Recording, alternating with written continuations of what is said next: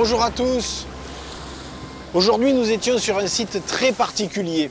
C'est un banc rocheux qui se trouve à l'est de l'île du Levant, dans le Var. Un vaste plateau, plusieurs kilomètres de long, qui culmine à 80 mètres de profondeur. C'est une zone qui est battue par les courants, avec de l'eau très claire. Et ça, ce sont les conditions parfaites pour l'avènement d'un écosystème incroyable et très rare en Méditerranée, des forêts de grandes laminaires.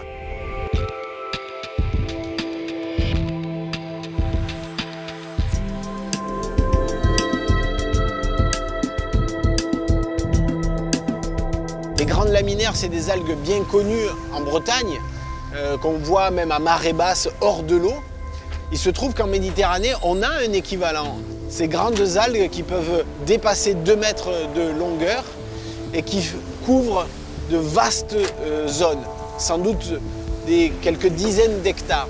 Nous autres Méditerranéens, nous ne sommes pas habitués à ces, à ces grandes formations d'algues.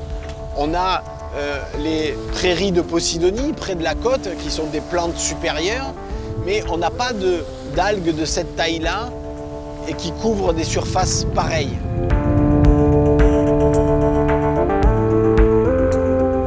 Il faut savoir que dans la littérature, on nous disait jusqu'à présent que cette laminaire de Méditerranée ne dépassait pas 2 mètres et ne dépassait pas 2 ans d'âge.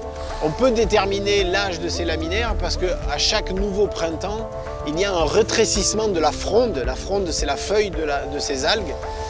Et donc, on peut compter le nombre d'années. Et jusqu'à présent, on n'avait jamais trouvé des algues qui avaient plus de deux ans. Et lors de nos plongées, non seulement on a trouvé des individus qui dépassaient les 3 mètres de longueur, mais aussi des individus qui avaient trois zones de rétrécissement, donc des algues qui avaient au moins 3 ans d'âge.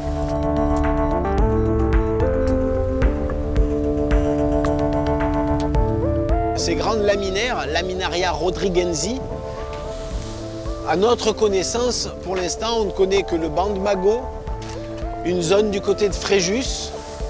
Il y en a aussi une, une vaste zone dans les Bouches de Bonifacio en Corse. Mais voilà, c'est assez particulier parce que à la fois quand on tombe dessus, on a envie d'appeler ça des forêts de laminaires, des forêts de grandes algues, tellement elles, sont présentes et de grande taille.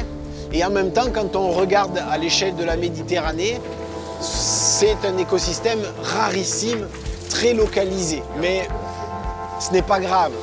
Il n'en fallait pas moins aux Méditerranéens pour pouvoir dire haut et fort que la Bretagne n'a plus le monopole des grandes forêts d'algues brunes.